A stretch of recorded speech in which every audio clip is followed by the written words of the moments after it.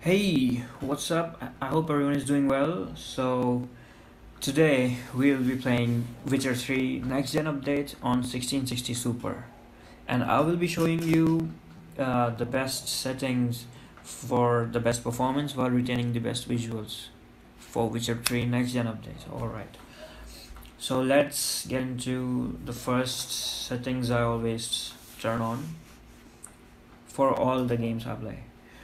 So in NVIDIA control panel, I always uh, limit the max frame rate. Here I have one I've set it to 162 FPS. So what we have to do ov- over here is we have to set it to three frame three f uh, three value lower than your uh, monitor's refresh rate. So my monitor's refresh rate is 165 hertz. So I have set it to 165 minus 3 162 FPS and I I saw this information on Mythbusters website. I will drop a link below to that uh, website. You can read it in depth. Alright. Plus the NVIDIA control panel VSync on so these two settings in NVIDIA control panel uh, it helps to you know get smooth a smoother gameplay. All right. And now let's get into witcher 3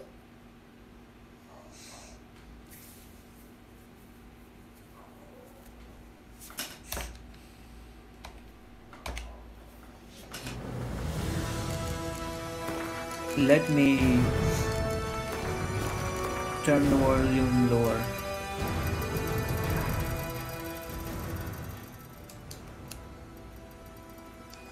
much is this much should be fine.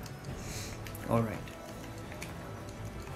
so in graphics setting i have sharpening set to low. And reason for that i mean it's just uh, for it works for me. So uh, extreme sharpening makes graphics look more super crispy super sharp and it kind it kind of looks less realistic and less blended more more like um, into the face kind of. It looks like more I don't know more super well defined and I don't like it. So of course you can set it to the your desired value but the lower setting works for me. It, the lower setting looks more blended more natural so here I have motion blur on as well. I like motion blur. You can turn it off as most do. Chromatic aberration and vignette off since I like more clear picture. Shadow quality set to medium because shadow in almost all games is super demanding. And medium shadows I like medium more than extreme shadows because medium shadows look more realistic same reason as well. More realistic because uh, it is it kind of looks more blended. Less less well defined looks more realistic if that makes sense. I mean set it to extreme and you will get the you know super well defined shadows and that doesn't look really mm, realistic. Plus it is more demanding so that's just my opinion. And foliage. In an uh, other youtube video i saw that foliage is a big culprit in next gen update. And it was causing stuttering. I experienced it as well so i can um, yes it causes stuttering. So uh, the medium setting gives more stable gameplay. So that's why I've set it to medium because everything is extreme. So here we have most settings set to extreme and few settings set to medium or low. So kind of uh, ultra high, high type settings. In display we have display mode full screen in-game vsync on as well as per the Mythbusters website as I told you and it works for me. That's why set it to on. Frame rates unlimited resolution 1920 1080 all right let's start the game.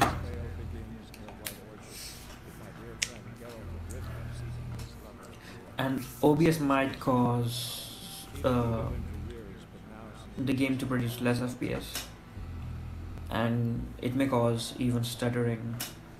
And I have experienced it while recording other gameplays as well. Alright. I don't think we are lacking anything in terms of graphics.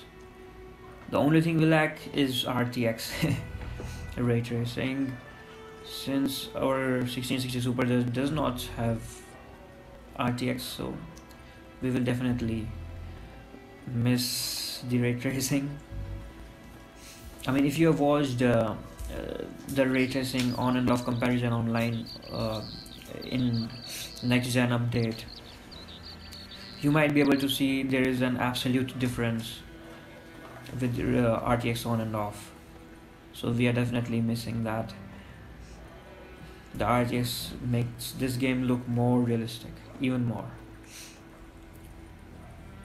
and another thing I wanted to say is I don't know if you felt that as well uh, but um, in the original Witcher 3 game I felt like uh, the game looked more tiny. Not uh, in terms of map but I mean in terms of the third person perspective the, uh, surroundings looked more kind of tiny. I mean the houses the trees and the surroundings in totality um, I mean everything kind of looked uh, smaller but in this next gen update they have rectified it. I like the new third person camera. It's more closer to the protagonist and it kind of makes things look the surroundings look bigger. Maybe it's the war. Corpses everywhere the stench of blood. It looks more immersive. Alright so here in in the village we have uh, the FPS dropped. But it is playable. But I think it is better with um, OBS off.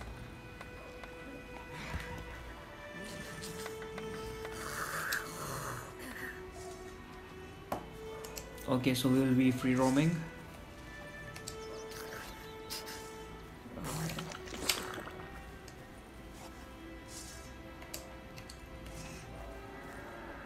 we'll be free roaming and we'll be seeing if the FPS drops occur in any other section as well.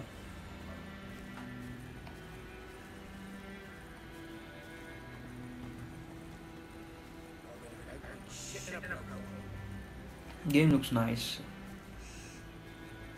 and it is playable so I don't think um, the 1660 Super is um,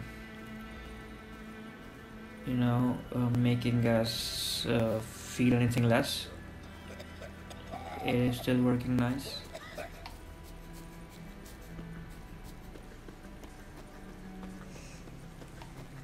So the card is still powerful.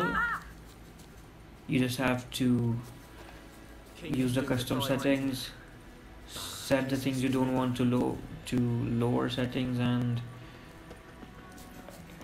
the card will the card might still be able to um, fetch you some nice FPS in new games as well. Yeah but the in the new plague tale game the card really struggled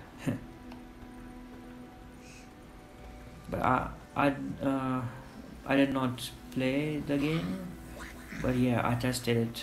So it, it was really struggling in that game.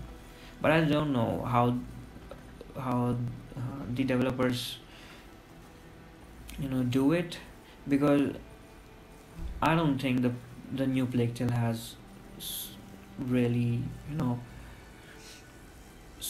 super um, over the top graphics. And it was you know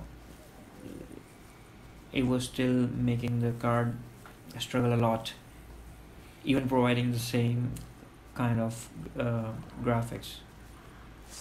All right.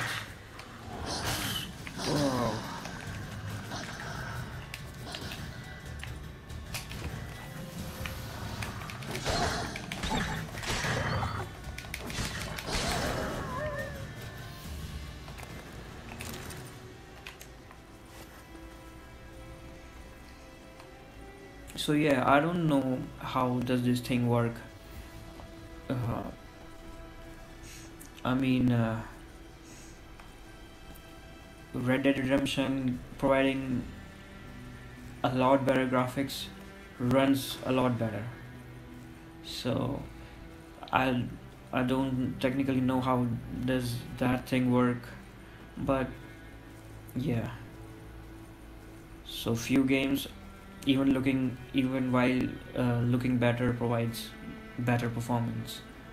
On whereas on the other hand um, some games uh, might not look that good and they would still be more demanding. I don't know how does that work but that is a thing. So i think the game works fine in these settings and and in terms of graphics I don't think we are lacking anywhere. We're still getting nice graphics nice frames game is playable. So yeah 1660 super gang going strong. Alright guys we'll see you in another video. Good night